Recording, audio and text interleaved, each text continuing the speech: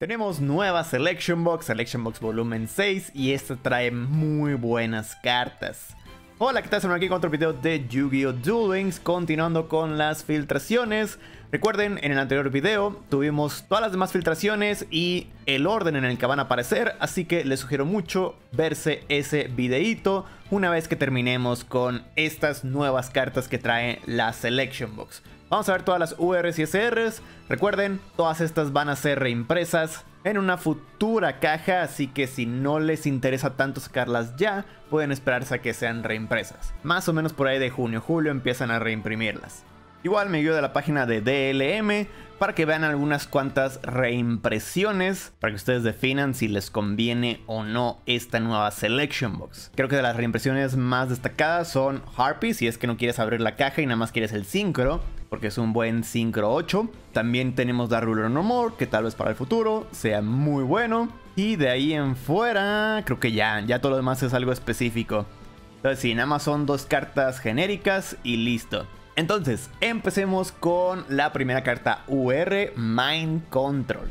Selecciona un monstruo de control de tu oponente hasta el final del turno, toma el control de ese objetivo, pero este no puede declarar ataques o ser sacrificado.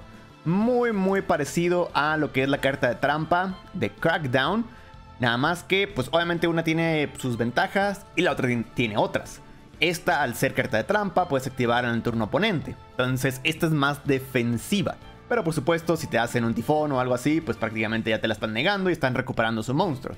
Mientras que este la activas y sí o sí vas a agarrar, no tienes que esperar nada porque no es carta de trampa. Si le hacen un tifón no pasa nada. Entonces sí, en, cierto modo sí es más fuerte Mind Control, pero para defenderte sí es más fuerte la otra.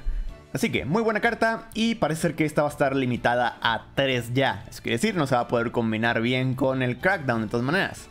Luego tenemos Ice Dragon Sprition. Selecciona un monstruo en el cementerio del oponente, convoca de modo especial a ese monstruo, pero ve sus efectos negados. Luego puedes desterrar un monstruo de ambos campos que tengan el mismo tipo que cada uno. Donde puedes activar una de estas por turno. Entonces con esto puedes quitarle dos monstruos. De hecho, también lo puedes usar como preventivo para que no pueda activar efectos en cementerio. No sé, ejemplo, eh, Blue Eyes, creo que la piedra es dragón también. Entonces la piedra reinvoca un Blue Eyes. Y antes de que pueda recuperar otro Blue Eyes, tú puedes revivir la piedra, desterrar la piedra junto con su Blue Eyes y listo, ya no va a poder recuperar ese Blue Eyes. Ya no va a tener esa piedra tampoco. Entonces, muy muy buena carta. Obviamente eh, va a ser más como side deck, va a depender del meta en el que estemos. Si hay metas en donde haya muchos tipos de monstruos en los decks, pues obviamente esta no se va a usar, porque casi nunca podrías quitarle pues dos monstruos, pues estaría un poco difícil. Pero si es un meta con decks de un solo tipo, que casi siempre es así, pues sí es muy muy buena. E igual, esta carta parece que va a estar limitada a 3. Vale, nos vamos a la siguiente UR, Gizmek Kaku, el Supreme Shining Sky Stag. Dice, si un monstruo está en la extra Monster Zone, puedes invocar esta carta de modo especial desde la mano. Puedes seleccionar una carta boca arriba en la extra Monster Zone, equipa esa carta a esta carta.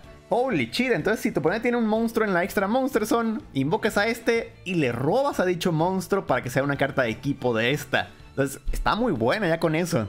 Luego dice, cuando esta carta destruye un monstruo del oponente en batalla, puedes invocar de modo especial un monstruo que esté equipado a esta carta. Entonces, prácticamente tomaste el control del monstruo que equipaste. Bueno, aunque no dice a tu lado del campo, ¿eh? Entonces no sé si le regresas el control a él, pero bueno. Eh, solamente puedes usar cada efecto una vez por turno. Ok, está muy bien. La verdad es que nada más invocarlo de manera especial y poder robarte algo, muy muy buena carta. Entiendo por qué es UR. Y la última UR, al fin onomatopeira. Solamente puedes activar una de estas por turno. Envía una carta desde la mano al cementerio. Entonces te cuesta dos cartas básicamente. Y añade hasta dos monstruos del deck a la mano. Pero no puedes añadir dos de la misma categoría. Entonces tienes que agarrar un Subaba o un Gagaga o un Gogogo o un Dododo. Dos de diferentes categorías. Vale, muy buena carta buscadora, muy parecido a la habilidad. Ya con esto básicamente confirmamos que en algún punto de este año va a salir soporte para Utopía. Muy probablemente ya salgan las rank ups para ellos. Eh, tal vez sea como para julio más o menos, julio, agosto. Digo, para los que esperan estas cartas. Y también vámonos ahora a las SRs. De una vez me paso a Generation Force, que es otra carta para Utopía. Si controlas un monstruo Exits, añade una carta Exit desde el deck a tu mano. Básicamente Exit Tactics, eh, hay un montón de cartas que dicen Exits. Ah, nada más para dar un ejemplo, tenemos Exit Blood, por ejemplo, Exit Boars, Exit Reborn, y bueno, entre otras. Eh, supongo que también habrá monstruos que digan exits. Y también los puedes sacar ya que nada más dice cartas. Vale, entonces una buena carta buscadora. Ahora sí nos pasamos a las demás SRs. Nightmare Cerberus. Una de las cartas que sí estábamos esperando porque ya habían metido a los otros dos Nightmares. Obviamente este es muy bueno porque al igual que el Fénix solamente necesitas dos monstruos con nombres diferentes y al igual que los demás cuando es invocado por enlace descartas una carta para poder activar su efecto, que es que puede destruir monstruos invocados de manera especial en la zona de monstruos principal. Ojo, tienen que ser en la zona de monstruos principal. Si están en la extra Monster Zone, no lo va a poder destruir. Entonces, mucho cuidado con esto. La verdad es que es el más poderoso por poder destruir un monstruo, pero lo restringieron mucho a que solamente sea invocado de manera especial y solamente en la zona de monstruos principal. Aún así, muy buena carta. Es una carta que sí vas a querer. Luego tenemos Dark Armed Dragon como SR. Pero ojo, va a estar limitada a 3. Dice, no puedes convocar de modo normal o especial esta carta, debe ser convocado de modo especial desde la mano, teniendo exactamente 3 monstruos de oscuridad en el cementerio. Puedes desterrar un monstruo de oscuridad en el cementerio para seleccionar una carta en el campo y destruirla. Muy buena carta, obviamente ya, ya ha pasado mucho tiempo, entonces ya no es tan tan poderosa como para ser UR. Si no hubieran estado los, las rarezas, hubiera dicho, eh, lo más probable es que esta no sea UR, por más que muchos fans digan, no, sí, es que es una muy buena carta, pero de todas maneras ya ha pasado mucho tiempo, entonces sí, se entiende. Pero aún así, por si las moscas, Konami lo limitó a 3 para que no se pueda combinar tanto con otros monstruos de oscuridad. Vale, luego tenemos SR Vampire Soccer, necesitas dos monstruos zombies. Y si fueras a sacrificar un monstruo para una invocación por sacrificio, puedes sacrificar un monstruo zombie que, que controle tu oponente, incluso si tú no lo controlas. Solamente puedes usar cada de los infectos una vez por turno. Entonces, básicamente con esto, el mundo zombie va a ser muy bueno. Así puedes sacrificar cualquier monstruo del oponente. Dice, eh, puedes seleccionar un monstruo en el cementerio de tu oponente, convoca de modo especial al lado del oponente en posición de defensa, pero se convierte en zombie. Entonces es un renace al monstruo, pero para tu oponente, pero ya con el otro efecto, pues puedes sacrificarlo. No hay problema. Y también dice, si un monstruo zombie es invocado a modo especial desde cualquier cementerio, roba una carta. Uh, muy bien. Y sí, sí podemos usar los dos efectos. Entonces podemos revivir un monstruo al oponente y ya con eso robar una carta. Muy bien, está. Va a ser una muy buena carta para los decks zombies, ¿eh? Luego tenemos el Ferocious Flame Swarman. Necesitas dos monstruos con diferentes nombres. Todos los monstruos guerreros en el campo ganan 500 de ataque. Esta carta invocada por enlace es destruida en batalla o por efecto de una carta del oponente. En las zonas de monstruos del dueño, puedes seleccionar un monstruo que no sea de enlace guerrero en tu cementerio y convocarlo de modo especial, pero desterrarlo cuando deje el campo. Solamente puedes usar este efecto una vez por turno. Eh, ne. Luego tenemos Lighting Chidori. Dos monstruos de nivel 4 de viento. Esta carta es invocada por Exit Selecciona una carta colocada que controle tu oponente. Regresa ese objetivo al fondo del deck. Uh, eso sí es muy bueno. Y una vez por turno, puedes acoplar un material de esta carta. Luego seleccionar una carta boca arriba controle tu oponente. Regresa ese objetivo al tope del deck.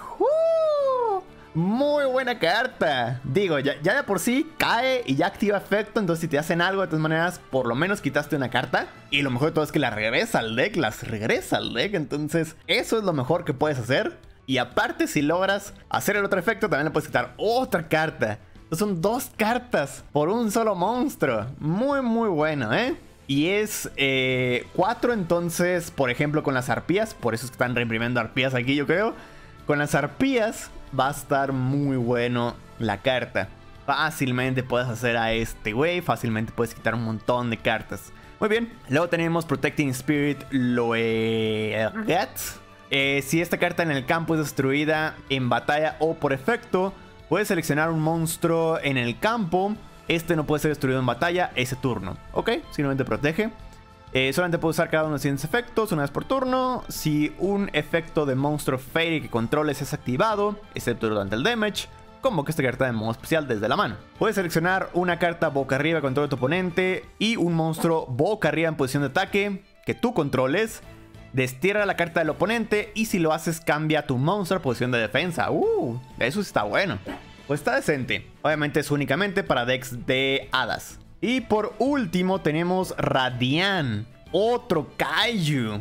Y SR esta vez. Al igual que todos los Kaijus, puedes invocarlo de manera especial al lado del campo de tu oponente, sacrificando un monstruo. Y también si tu oponente controla un monstruo Kaiju, se puede convocar esta carta de manera especial desde la mano en posición de ataque. Solamente puedes controlar un monstruo Kaiju.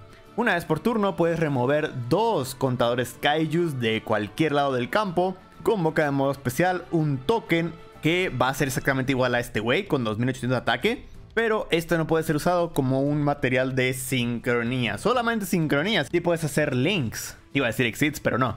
Exits no se pueden hacer con tokens. Entonces, vale, te da una buena jugabilidad. Ya tenemos al Kaiju de oscuridad. Y listo, esas son todas las cartas. Como dije, ahí pueden ver las cartas reimpresas. Eh, yo la verdad es que esperaba un poquito cartas más fuertes debido a que pues, las cartas de la última caja eran muy muy buenas, como los Nightmares. Pero bueno, aún así son muy buenas cartas, ¿eh? No crean que no son buenas cartas. Y prácticamente dos son staples. Bueno, tres si contamos a este güey. Tres que seguramente la mayoría va a querer buscar. Pero bueno, díganme ustedes en los comentarios qué es lo que opinan. Díganme también si van a comprar esta nueva Selection Box. Por mi parte, eso era todo. Muchísimas gracias por haber visto este video. Recuerden dejar like si les gustó y también no olviden compartirlo con sus amigos para que sepan qué es lo que se viene pronto. Nos vemos en la próxima. Bye bye.